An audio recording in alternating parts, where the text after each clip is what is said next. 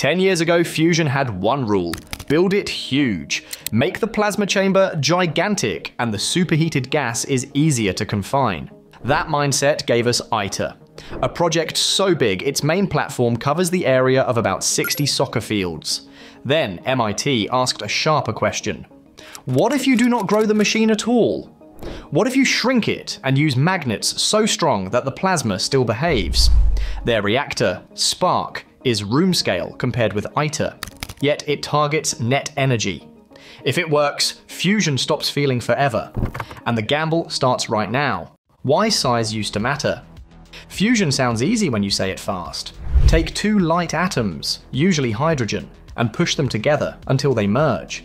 When they fuse, a little mass becomes a lot of energy. The sun does this all day, which makes the dream feel simple. But the sun has a cheat code gravity. It squeezes fuel under insane pressure because it is enormous. On Earth, we cannot do that, so we use heat. A fusion plasma must reach around 100 million degrees Celsius, so we never let it touch the walls. We suspend it with magnetic fields like an invisible cage. This is where bigger is easier came from. The Lawson criterion says you need the right mix of temperature, density, and confinement time. If confinement time is short, you must push temperature and density harder. Big tokamaks give you more volume and more time, so the plasma has a better chance to stay stable. That logic helped justify ITER, the giant international reactor being assembled in southern France. The hope is net energy, where fusion output beats the energy used to sustain the plasma. Quick sponsor break. Search your name and city, and you might find your address or phone number on sites you never used. That data is collected and sold. Incogni helps remove personal details by requesting takedowns from data brokers. With the unlimited plan, you can submit custom links, including Whitepage and Trellis. Law or Unicourt and their team handle the removals. Use code MEGAPROJECTS for 60% off an annual plan. Now, back to Fusion. A long history of 30 years away. Fusion research did not start with ITER, it started with bold machines and hard lessons. In the 1950s, Z-pinch devices tried to squeeze plasma using electric currents. They looked dramatic, but the plasma would twist, kink, and escape. Instability won. In the 1960s, the Soviet tokamak arrived and changed the field. A donut shaped chamber, plus carefully shaped magnetic fields, gave the plasma a smoother path. Suddenly, confinement times improved enough that the science felt real. By the 1970s, optimism was everywhere. Many believed practical fusion power was only a few decades away. Then the decades passed. In the 1990s, it was still 30 years away. In the 2010 S, the same story.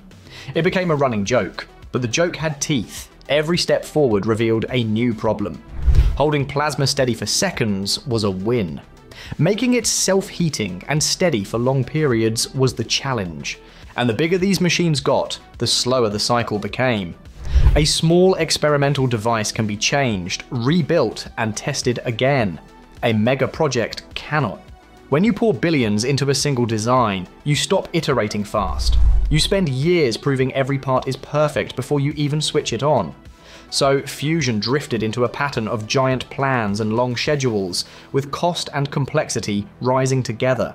That is why the question from MIT mattered so much. Instead of asking how huge a reactor must be, they asked what would happen if you made the magnets stronger and the machine smaller. It sounds like a shortcut, like building a jet engine out of a hairdryer. But in fusion, magnet strength is not decoration. It is the steering wheel, magnets that change the math. Traditional tokamak magnets are superconductors, but they are picky. They must be cooled with liquid helium to about 4 Kelvin, and their practical field strength tops out near 11 or 12 Tesla. That limit mattered because confinement gets dramatically better as the magnetic field rises. A common scaling says energy confinement improves roughly with the fourth power of the magnetic field. So if you double the field, you can get up to 16 times the confinement performance. That is not a small gain. It is a size-changing gain. The new ingredient is a class of high-temperature superconductors, especially rare earth barium copper oxide, usually called REBCO.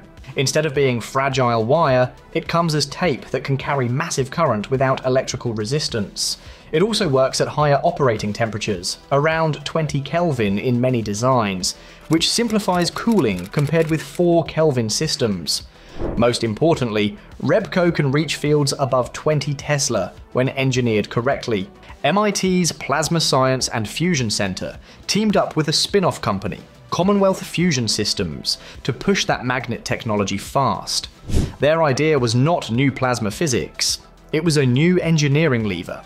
Keep the tokamak concept, but shrink the machine by raising the field.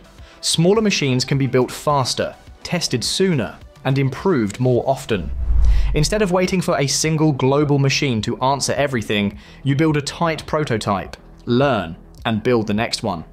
This approach is why SPARC became the name to watch. If the magnets can do what the models say, a compact reactor can chase the same fusion goals as a giant one, but on a schedule and budget that looks more like modern engineering, and less like a multi-generation monument.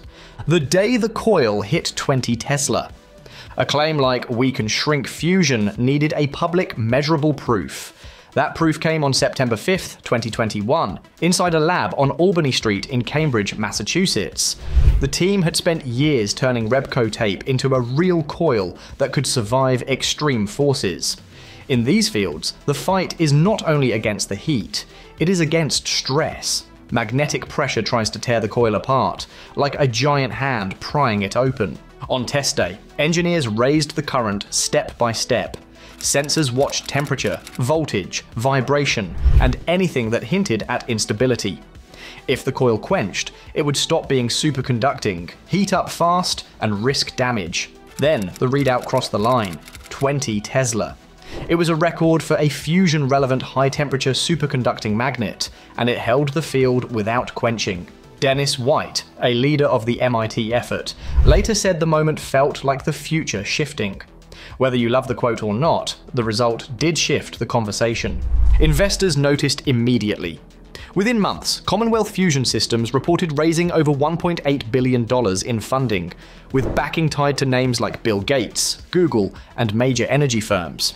Even people who dislike private sector fusion admitted this magnet was real progress, not hype. There was also a cultural lesson. The group moved like a hybrid of a university lab and a startup engineering team. They built hardware, tested it, fixed it, and repeated. Less waiting for international votes, more learning by doing. That speed matters because Fusion is full of surprises, and surprises punish slow programs. SPARC, ARC, and the roadblocks. SPARC, often said as Spark, is still a tokamak, but it is a different philosophy. The name is often expanded as smallest possible affordable robust compact. It aims to be the smallest machine that can plausibly reach net energy. Its central chamber stands only about 3 meters tall, with a plasma radius of around 1.85 meters. It is built to fit in an industrial building, not dominate a landscape. The planned magnet set uses 18 high temperature superconducting coils made from REBCO tape. They are designed to generate fields above 20 Tesla, roughly twice ITER's field. The magnets are modular, so a coil can be removed and replaced without dismantling everything. The target performance is a fusion gain factor, Q greater than 1, and the design goal is Q10. For context, the JET tokamak in the UK achieved about Q equals 0.67 comma, and ITER also aims for Q10, but not until the mid 2030s. SPARC's schedule has been far more aggressive. Construction began in 2023 in Devens, Massachusetts. Plans have pointed to assembly around 2025, first plasma around 2026, and net energy level tests after that. Cost is part of the pitch too. ITER's total price is often described as north of $50 billion, while SPARC's program has been framed as under 3 billion, largely private. But compact does not mean easy. Stability margins shrink. A small wobble can end a pulse. Neutrons from deuterium tritium fusion can damage metals and may degrade superconductors over time. Heat exhaust is brutal.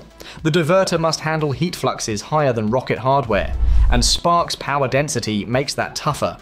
Tritium supply is limited and decays with a half-life of just over 12 years, so any real industry needs breeding blankets to make more.